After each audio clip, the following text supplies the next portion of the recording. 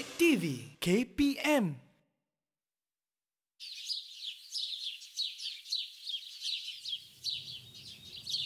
Manalah Irfan ni?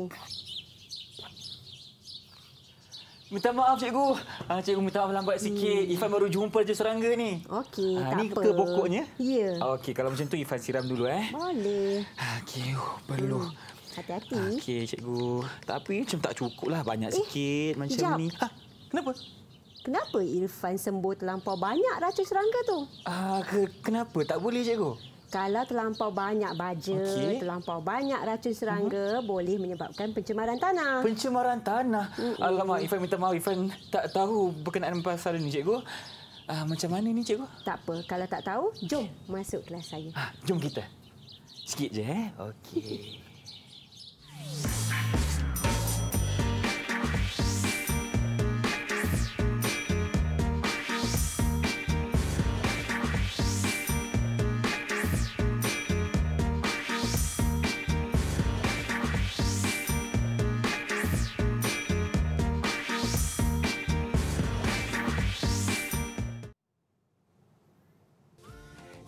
Assalamualaikum dan salam sejahtera anda semua yang sedang menyaksikan Slot Mendengar Atas di Didik TV KPM bersama saya pengacara anda Irfan Syahmi. Apa khabar semua? Saya mendoakan agar anda dalam keadaan yang baik dan bertenaga kerana hari ini kita akan belajar mengenai mata pelajaran sains tingkatan 5 dengan topiknya kelestarian alam sekitar bersama siapa? Tentunya bersama dengan Cikgu Rosam Falti Zulti binti Samiran dari SMK Putrajaya Presin 11-1 dan juga kita bersama dengan seorang jurubahasa iaitu cikgu kita dari Sekolah Menengah Pendidikan Khas Vocational Shah Alam Selangor, Cikgu uh, Farazilah binti Abdul Rahim. Baik, terima kasih cikgu kerana bersama kami hari ini dan Cikgu Rosam. Ya, saya, apa Irfan. khabar cikgu hari ini? Alhamdulillah sehat. Irfan? Saya sihat tapi kena marah sikit lah tadi sebab terlebih uh, sembuh racun serangga tadi. Okey cikgu, untuk hari ini kita tahu kita akan belajar mengenai kelestarian alam sekitar betul? Ha, betul. Jadi untuk kita mulakan wadah perbincangan kita mungkin cikgu berjelaskan perkenalan silakan. Okey, terima kasih Irfan. Sama-sama. Okey, saya teruskan untuk bab 3 tingkatan 5 uh, sains uh, kelestarian alam sekitar. Hari ini kita akan fokus kepada 3.2 pencemaran alam sekitar. Mm-hmm. Uh, bagi standard pembelajaran, murid boleh yang pertama menerangkan jenis dan punca pencemaran alam sekitar. Yang kedua, murid boleh mengkaji tahap pencemaran air daripada sisa domestik dan yang ketiga, murid boleh mereka cipta kaedah pembersihan air yang tercemar menggunakan teknologi hijau. Baik. Dan apa itu definisi pencemaran alam sekitar? Uh, pencemaran alam sekitar merupakan perubahan ciri fizikal, kimia atau biologi yang tidak dikehendaki dalam komponen alam sekitar iaitu udara, air dan tanah. Dan pencemaran alam sekitar ini akan menyebabkan kemudaratan dan juga ketidakselesaan kepada semua hidupan. Hmm. Boleh faham Irfan? Boleh faham cikgu. Maknanya kalau tadi Irfan ada sembuh terlebih racun serangga dekat pokok kita, itu juga merupakan satu bentuk uh, pencemaran alam sekitar. Betul atau salah? Ya, betul. Itu yang saya katakan tadi. Kalau Irfan gunakan baja berlebihan, Mhm. racun serangga yang disembuh secara berlebihan boleh menyebabkan salah satu jenis pencemaran alam sekitar. Okey, jadi cikgu kalau caranya untuk kita menyembuh tadi kena kurangkanlah. Ya, betul. Ah, maknanya tidak boleh digunakan dalam keadaan yang banyak seperti apa yang Ifan lakukan sebentar tadi. Okey, itu perkara yang tidak patut kita lakukan cikgu eh. Ah, betul. Kita kena jaga alam sekitar kita. Baik. Ah, dan sekarang ini cikgu dah jelaskan pengenalan mengenai topik kita. Kita nak berhenti berehat ah, seketika. Terus bersama kami dalam Direct TV KPM selepas ini.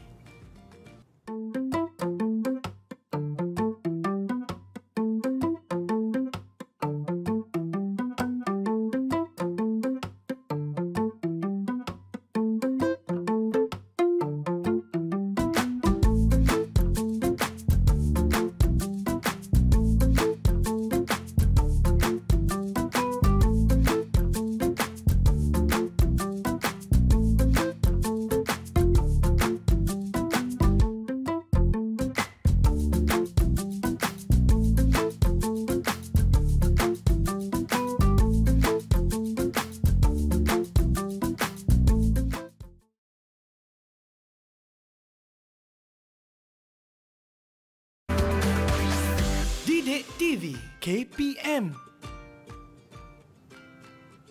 Terima kasih kerana masih bersama kami dalam slot menengah atas Didik TV KPM tentunya dalam mata pelajaran Sains Tingkatan 5 dan sekarang ini subtopiknya pula beralih kepada jenis dan punca pencemaran alam sekitar. Jadi Cikgu Rosam dah bersedia Cikgu?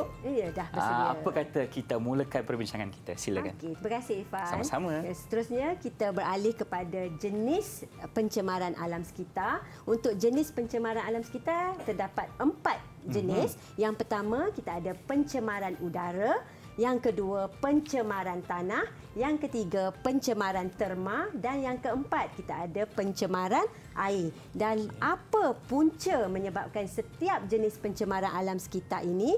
Okey, yang pertama saya terangkan dulu ya Irfan berkenaan Silakan. dengan pencemaran udara. Untuk pencemaran udara, punca yang menyebabkan pencemaran udara ini pertama pembakaran bahan api fosil dan biojisim, gas exhaust automobil, pereputan bahan dan sisa organik yang membebaskan gas rumah hijau dan pelbagai jenis gas toksik seperti sulfur dioksida ke dalam udara. Baik. Dan pencemaran udara juga disebabkan oleh pencemaran udara semula jadi. Hmm. Okay, yang disebabkan pertama letusan gunung berapi, Okey. ha, pembakaran hutan, ribut debu dan sisa organik yang mereput.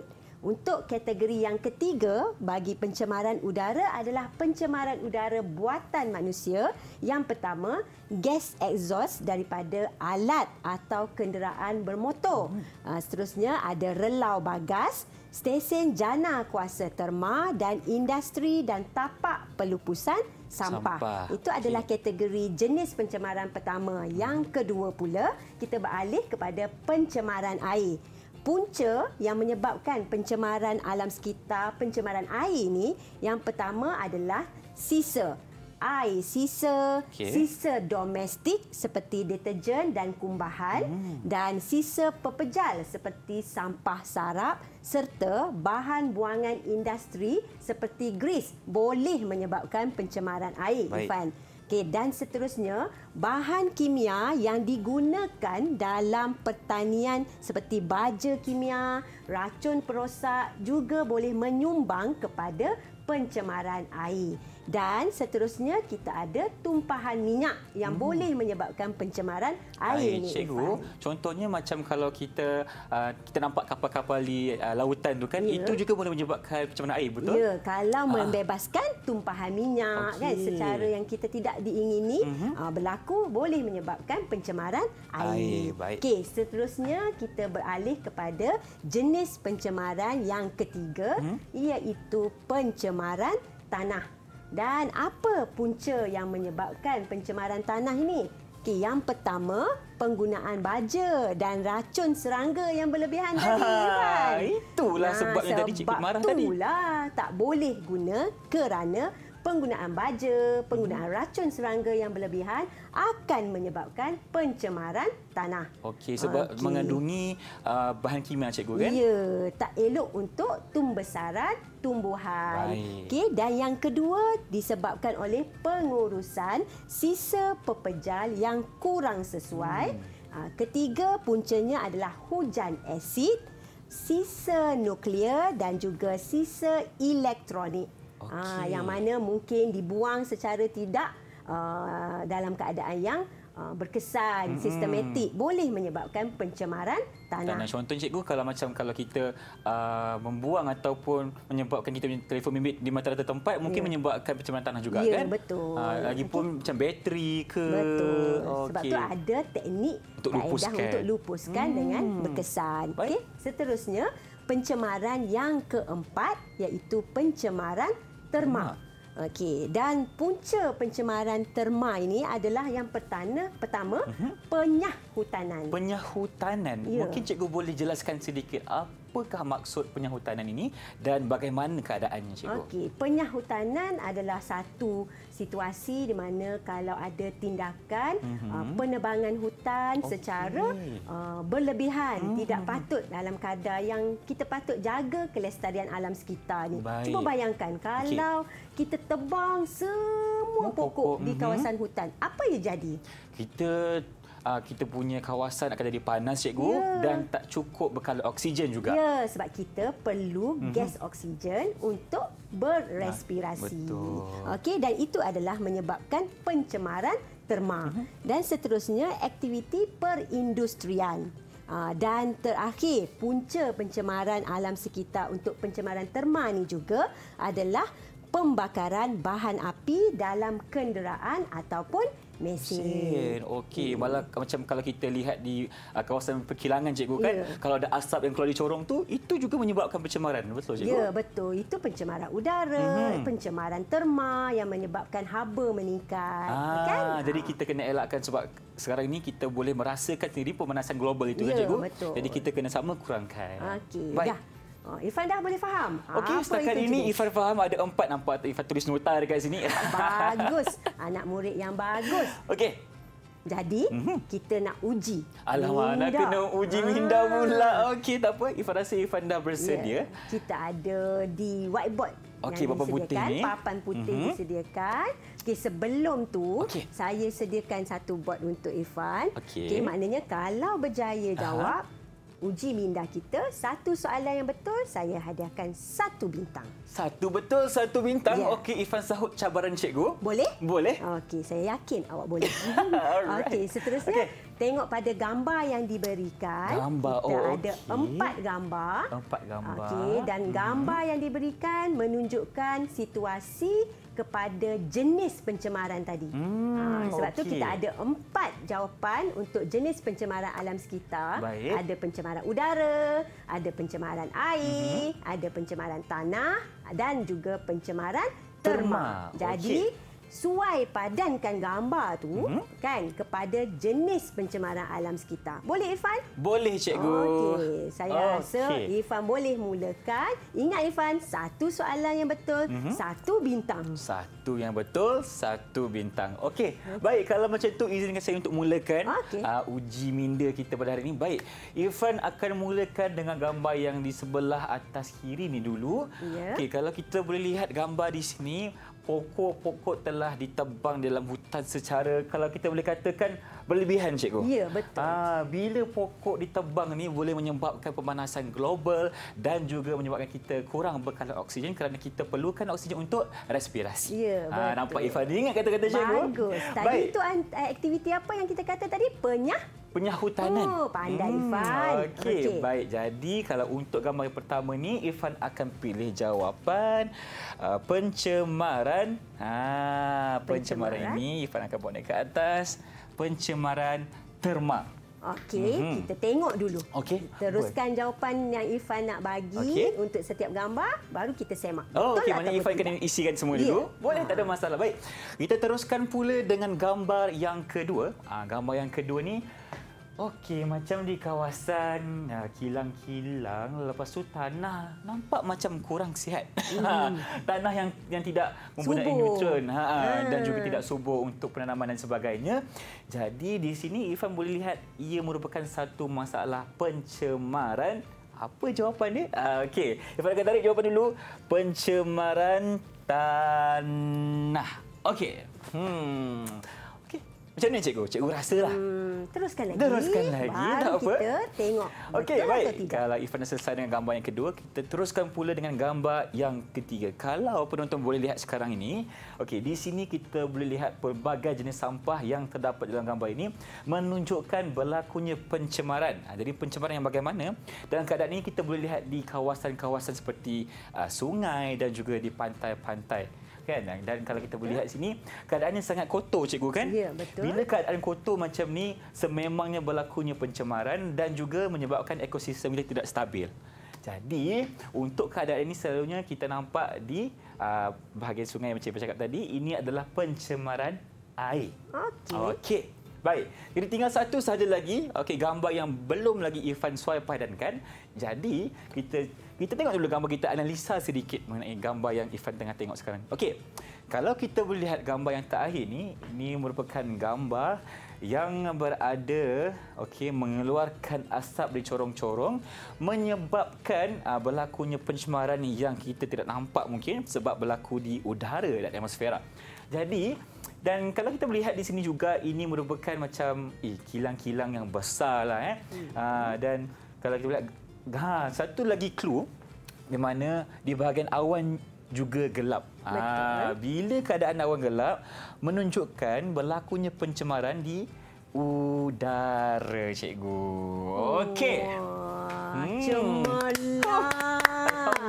Jawapan sangat mantap. Mantap, cikgu. Ah, Terima dan kita semak dulu betul Silakan. ataupun tidak. Okey, untuk gambar yang pertama, tadi Irfan kata ada aktiviti penyahutanan. Dan penyahutanan tadi macam yang kita dah belajar sebelum tadi merupakan satu punca yang menyebabkan pencemaran terma. Hmm, betul. betul jawapan itu. Betul, so, okey. Jadi saya bagi satu bintang. Satu bintang. Terima Boleh Irfan kasih. Letak Okey. pada board. Okey. Baik. Dan untuk yang kedua, mm-hmm. gambar kedua yang menunjukkan situasi tanah yang tidak subur Okey. tu Irfan kata itu adalah betul untuk pencemaran Tanah. tanah.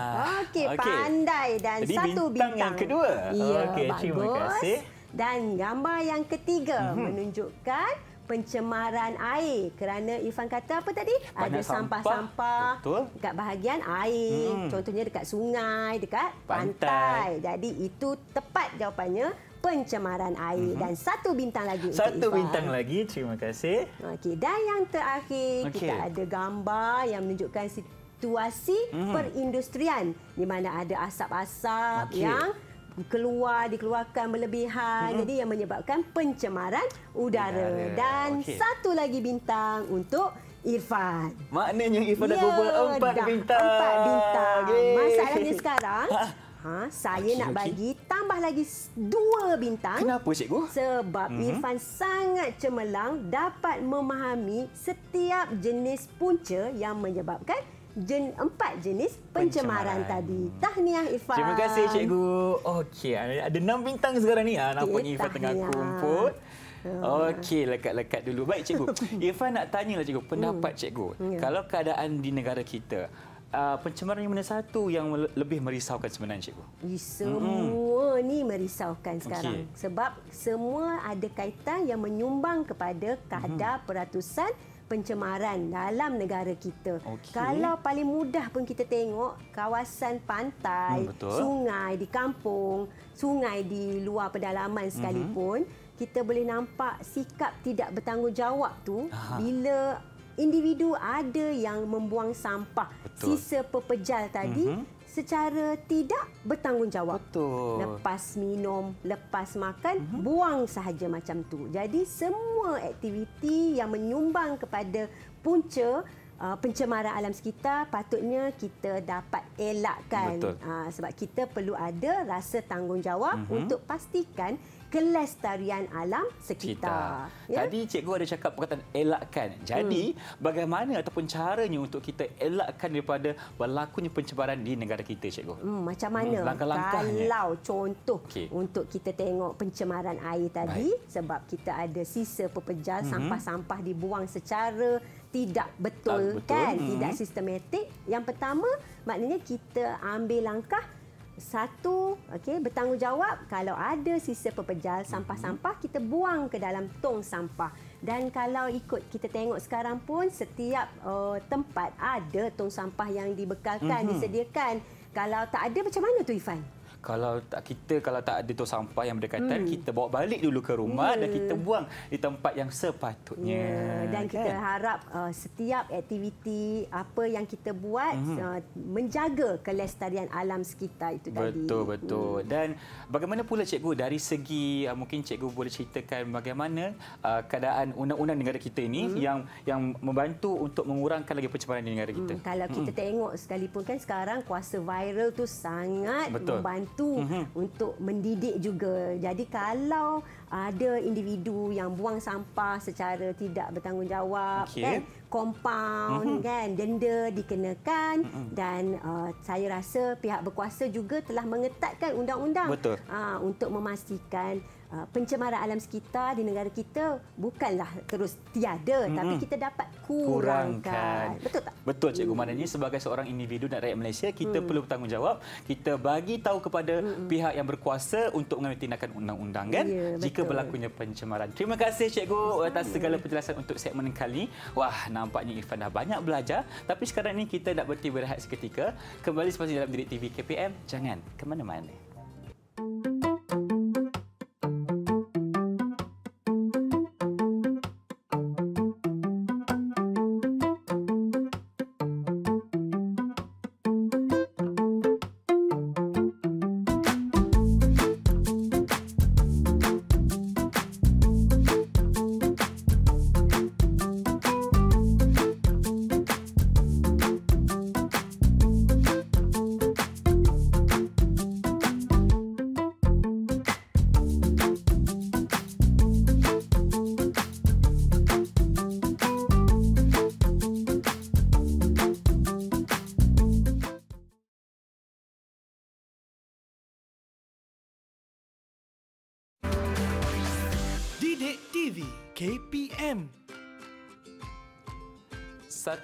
3, 4, 5, 6. Aish, tak cukup lagi. Nampak gaya kena tambah lagi ni.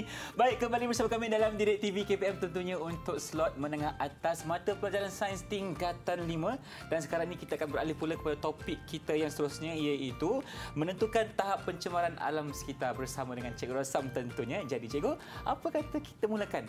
Ah, bagaimana kita nak menentukan tahap pencemaran alam sekitar? Okay, terima kasih Irfan. Seterusnya kita lihat uh, tahap pencemaran air daripada sisa domestik. Uh-huh. Kalau tahap pencemaran air daripada sisa domestik, kita ada indeks pencemaran udara IPU. Apa itu IPU? Okay, IPU merupakan parameter pencemaran udara yang diukur untuk menentukan tahap pencemaran udara. Hmm. Berbeza dengan biochemical oxygen demand BOD iaitu tahap pencemaran air daripada sisa domestik. Apa definisi biochemical oxygen demand BOD? Okay, BOD ini merupakan parameter pencemaran air yang diukur untuk menentukan tahap pencemaran air. Dan apa itu eutrofikasi? Eutrofikasi adalah respons ekosistem terhadap penambahan ion fosfat dan ion nitrat daripada deterjen, baja dan sampah ke dalam suatu ekosistem akuatik iaitu air.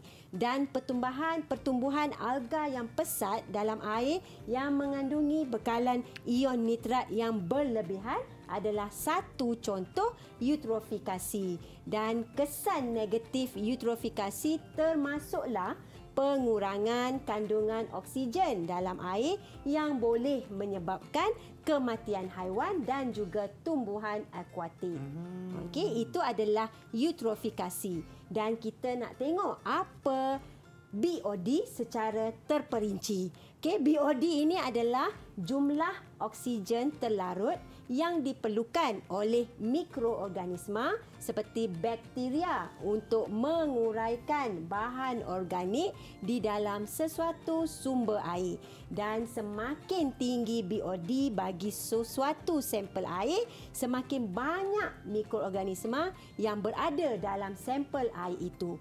Jadi apa hubung kait antara BOD dengan tahap pencemaran air dalam sesuatu sampel air? Ha, jadi kita boleh lihat apa itu beza setiap BOD dalam sesuatu sampel air. air. Dan okay. tahap pencemaran air bagi sesuatu sampel air boleh ditentukan dengan mengukur masa yang diambil untuk warna larutan metilina biru luntur setelah dicampurkan dengan sampel air tersebut apabila larutan metilina biru dimasukkan ke dalam sesuatu sampel air yang tercemar yang mengandungi kandungan oksigen terlarut yang rendah, warna biru larutan metilina akan luntur dengan sangat cepat. Okay, jadi semakin tinggi tahap pencemaran air, semakin singkat masa yang diambil untuk warna larutan metilina biru luntur. Baik. Ha, jadi untuk BOD kita ada eksperimen. Eksperimen. Ya. Yeah. Mestilah cikgu kalau sains ni kalau tak ada eksperimen tak lengkap cikgu kan? Jadi untuk eksperimen menentukan tahap pencemaran air dalam sampel air yang berlainan. Okay, kita boleh lihat dekat depan ni pun ada bahan, ah. ada radas yang disediakan. Baik. Jadi bahan yang diperlukan adalah larutan metilina biru. Okey. Yang biru tu Yang ah, biru gelap tu, ya, cikgu. larutan metilina Okey. biru 0.1% dan empat sampel air yang berlainan. Mhm. Kita boleh nampak ada sampel A, Okey. sampel B, sampel C dan sampel D. D. Jadi radas yang diperlukan adalah empat botol reagen dengan penutup. Mhm. Kita ada picagari dan jam serta silinder penyukat. Okey, itu adalah bahan dan juga radas yang diperlukan untuk menjalankan eksperimen menentukan tahap pencemaran air dalam sampel air yang berlainan.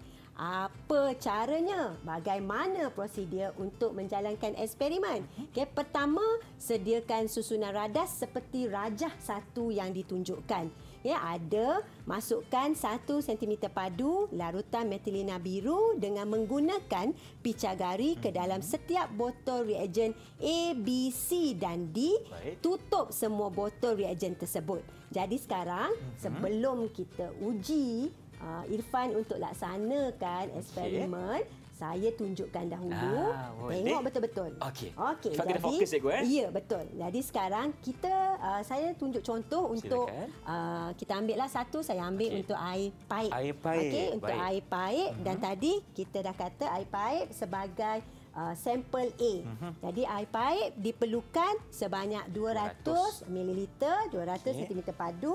Jadi kita perlu guna silinder penyukat. Jangan tertukar. Ini air suling. Ah. Ini air paip. Baik. Okey, so air paip kita masukkan dalam silinder dalam penyukat. silinder Bismillah. penyukat. Okey. Okey, macam mana kita Ah. perlu rendahkan badan sikit supaya Okey. mata kita sama aras dengan silinder. Okey, sekejap. Kalau tak sama macam mana cikgu?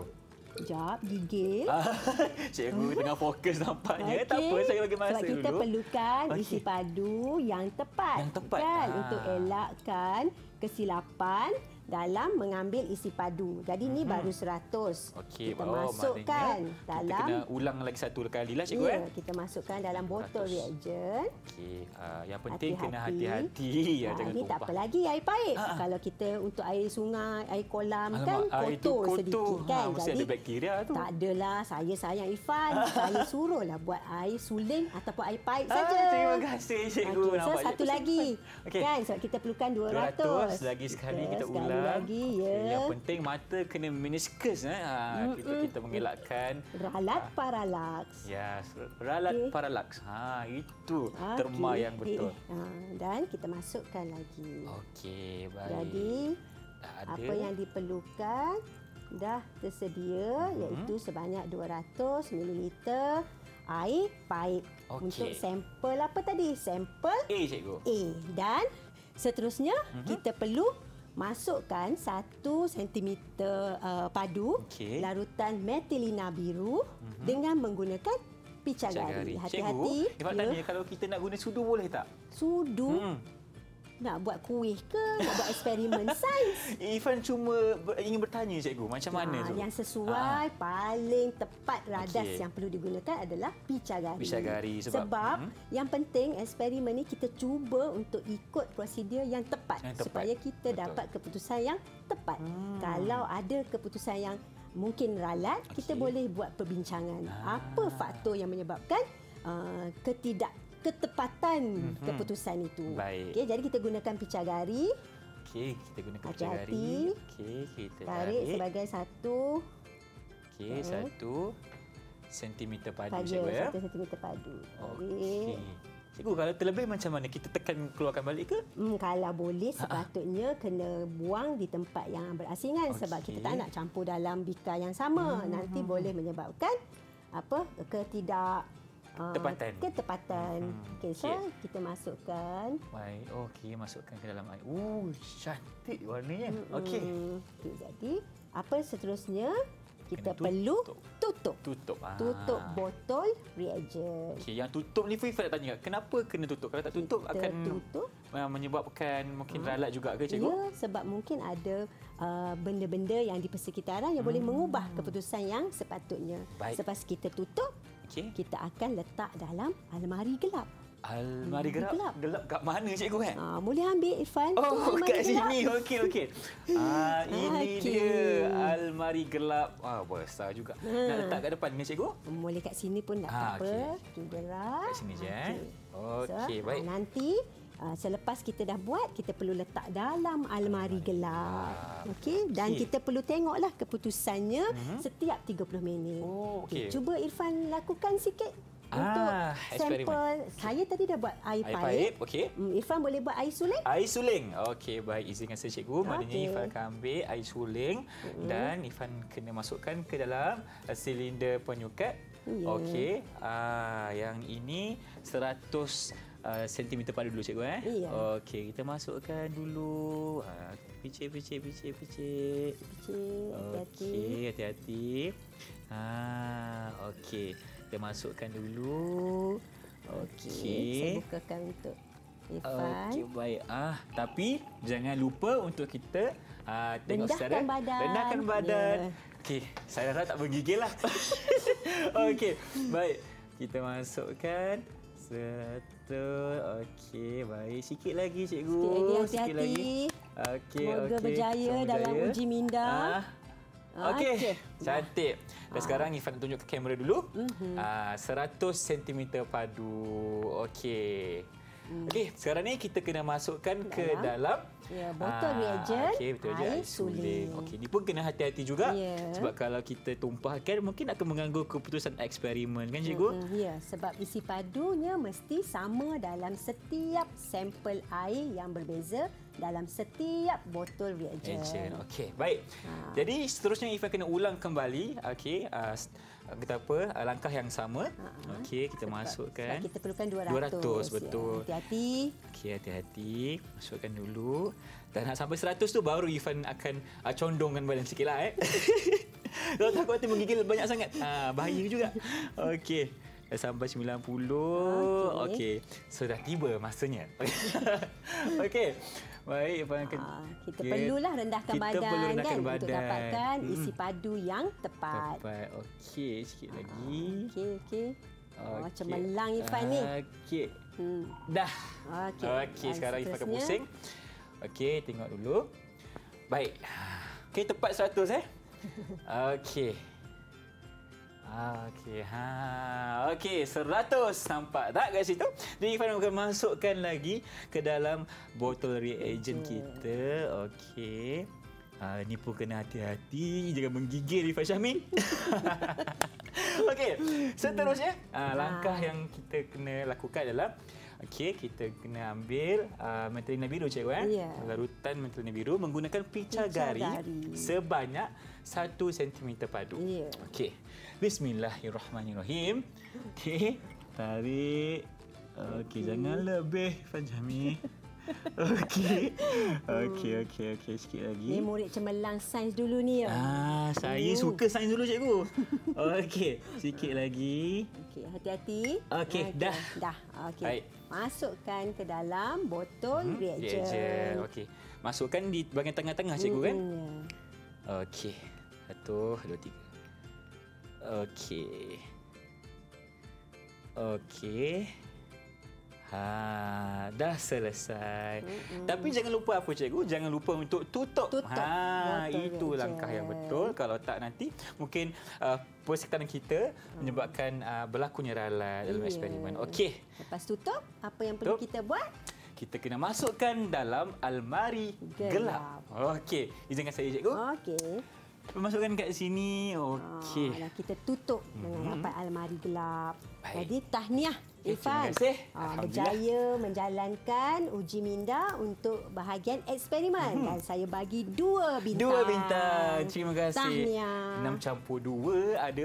Dah ada lapan cikgu. Ah, Okey. jadi apa yang kita Mhm. buat, kita letak dalam almari gelap dan kita perlu perhatikan Baik. warna sampel air setiap 30 minit dan Mhm. kita perlu catat masa yang diambil untuk warna larutan metilina biru itu luntur. Luntur, Ah, okey. Jadi seterusnya izinkan saya ya Irfan. Cikgu, Ifan ada soalan boleh Ya, tak? boleh. Okey, Ifan muskil dan tertanya-tanya bagaimana larutan metilina, metilina biru biru. ni maafkan saya Ha. berfungsi uh, sebagai penanda aras untuk menunjukkan pencemaran dalam air, cikgu. Okey, maknanya petunjuk, Petunjuk. penunjuk kan, Hmm. penunjuk. Ah, jadi bila ah, larutan metilina biru ni luntur dalam masa yang sangat cepat, Okey. maksudnya sampel air itu adalah ah, dalam keadaan yang Mhm. tercemar. Tercemar, Ah, okey. Jadi kita ada pemerhatian tadi kita ada botol reagen A, Betul. B, C dan D, ada air paip, air sungai, air suling dan air kolam. Mhm. Jadi setelah kita buat pemerhatian,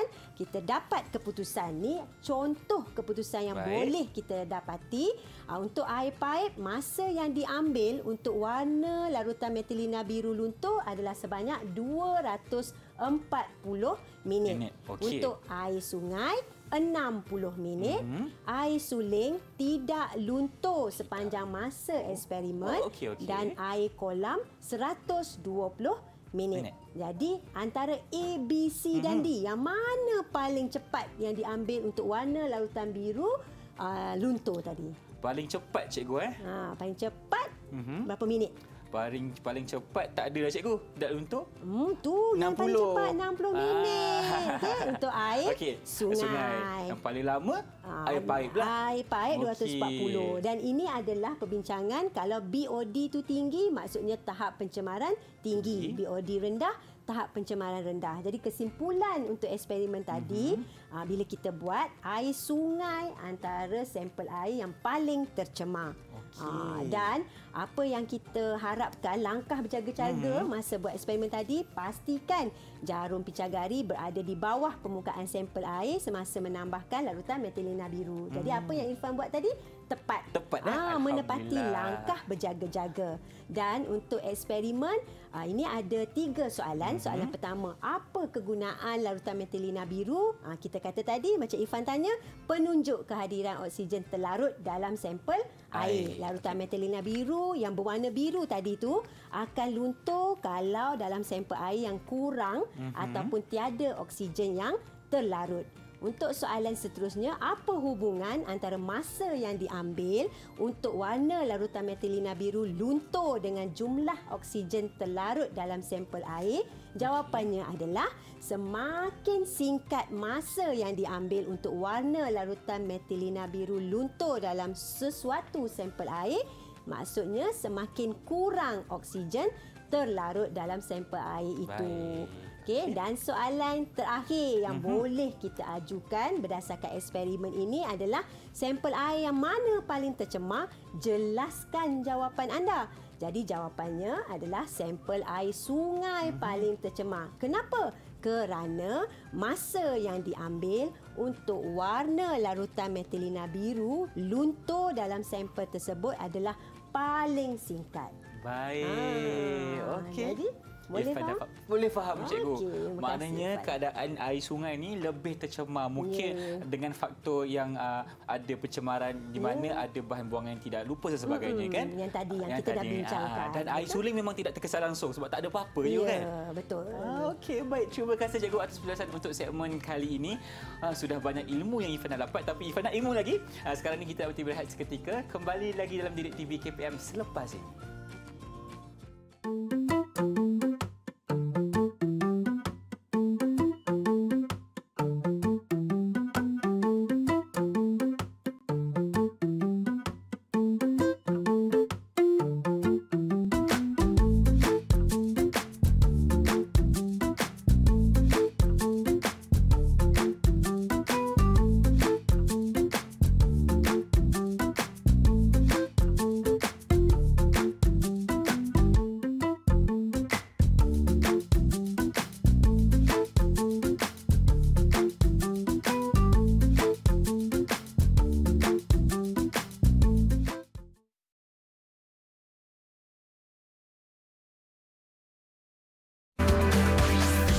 Didik TV KPM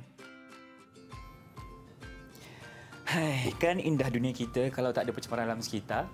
Baik, bertemu kembali bersama kami dalam Didik TV KPM tentunya untuk mata pelajaran sains tingkatan 5 masih dalam topik kelestarian alam sekitar. Jadi, untuk segmen kali ini pula cikgu, apa yang akan kita sentuh dan bincangkan? Silakan. Okey, terima kasih Irfan. Sama-sama. Izinkan saya untuk seterusnya ini kita akan tengok kaedah pembersihan air yang tercemar dengan penggunaan teknologi hijau. Okey, penggunaan berbola lumpur mm-hmm. mikroorganisma efektif ataupun efektif mikroorganism EM. Ini adalah sumber gambar yang menunjukkan uh, berbola lumpur mikroorganisma efektif. Okey, okay. EM itu tadi. Dan kita ada tengok uh, yang pertama apa penggunaan berbola lumpur mikroorganisma efektif EM ini. Okay, yang pertama usaha mereka cipta kaedah pembersihan air yang tercemar dengan penggunaan teknologi hijau merupakan satu proses uh, berterusan di negara kita Malaysia. Yang kedua, antara kaedah teknologi hijau yang digunakan untuk merawat air sungai yang tercemar di Malaysia termasuklah penggunaan berbola lumpur mikroorganisma efektif. Okay, efektif mikroorganism EM dan kita ada langkah-langkah untuk membuat berbola hmm. lumpur mikroorganisma efektif yang akan digunakan untuk merawat air yang tercemar. Okay, terdapat enam langkah. Yang pertama, masukkan tanah dan EM bokashi iaitu EM tadi efektif uh, mikroorganisma ke dalam besen dan kita gaulkan campuran tanah dan EM bokashi itu. Dan yang kedua, tambah larutan EM ke dalam campuran tadi dan gaul lagi sehingga sebati. Dan langkah yang ketiga, ah, bila kita dah gaul sehingga sebati, ah, kita bulatkan campuran supaya menjadi berbola lumpur EM. Ha, kita bulat-bulatkan supaya ada nampak setiap satu lumpur campuran tadi tu dalam okay. bentuk ha, bulat. Dan yang keempat, alas dasar dulang dengan surat khabar dan letakkan berbola lumpur EM di atasnya. Dan langkah yang kelima, simpan bekas yang mengandungi berbola lumpur EM tadi di tempat tanpa sinaran matahari ataupun angin yang kuat untuk mengelakkan berbola menjadi kering dengan cepatnya. Dan langkah yang terakhir, keenam, berbola lumpur EM tadi dah sedia digunakan apabila permukaan berbola disaluti oleh uh, fungi putih ataupun kulat putih. Jadi ini adalah enam langkah, ah, enam prosedur untuk membuat berbola lumpur mikroorganisma efektif yang bertujuan untuk merawat air yang tercemar. Dan kaedah ini penggunaan berbola lumpur ni telah banyak digunakan okay. uh, diaplikasikan untuk merawat air yang tercemar. Contohnya di sungai-sungai hmm. yang tercemar. Baik. Jadi ini adalah satu uh, kaedah aplikasi teknologi hijau. Hmm. Maknanya kita gunakan campuran tanah, kita ada campuran uh, mikroorganisma efektif tadi okay. untuk hasilkan berbola lumpur. Hmm. Dan berbola lumpur ni apabila kita letakkan di dalam sumber air Baik. yang tercemar, dia dapat merawat air yang tercemar itu hmm. tadi.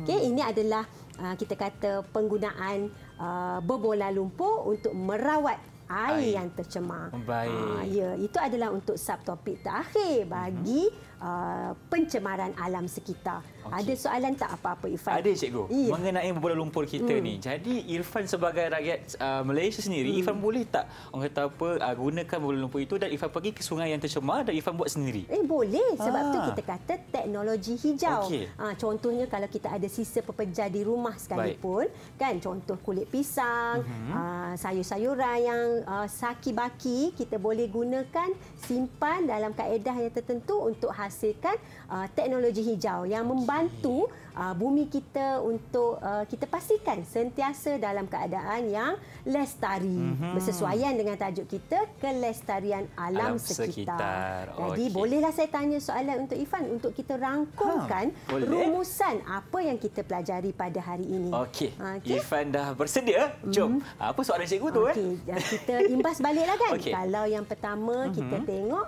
uh, kita belajar berkenaan dengan definisi pencemaran mm-hmm. alam sekitar. Kan maknanya apa yang tidak diperlukan dalam uh, air, Betul. Udara, tanah itu yang kita kata pencemaran. Betul. Kan?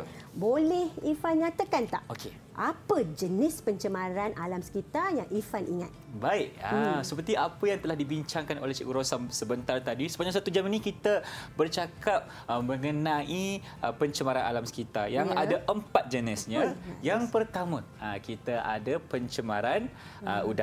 Betul. Yang kedua, kita ada pencemaran terma. Betul. Yang ketiga, kita ada pencemaran tanah. Hmm. Yang keempat, kita ada pencemaran air, Cikgu. Ya, ada tepat. empat kesemuanya. Ha, kita ada empat jenis dan Mhm. ingat Ifan dan anak-anak murid di luar sana, uh, jenis-jenis pencemaran tadi ada uh, perkara ada punca yang menyebabkan sesuatu jenis pencemaran itu berlaku Mhm. dan paling saya ingatlah uh, penerangan Ifan tentang penyahutanan tu. Penyahutanan. Bagus Ha. dan penyahutanan adalah satu punca yang menyebabkan pencemaran Terma, Cikgu. Terma, ya bagus. Dan itu adalah untuk berkaitan dengan jenis mm-hmm. dan punca pencemaran alam sekitar. Baik. Dan seterusnya kita buat eksperimen BOD. Mm-mm. Kan kita nak tengok setiap sampel air yang berbeza macam Okey. mana perubahan terhadap larutan metilina biru. Okey cikgu. Ah, Baik, mungkin kan? sekarang ni cikgu boleh berikan hmm. penilaian mengenai prestasi Ifan sepanjang satu jam kita ke udara hari ini. Silakan. Eh, saya Mhm. Macam mana, cikgu? tanpa ragu-ragu Ifan. Tanpa ragu-ragu? Ya,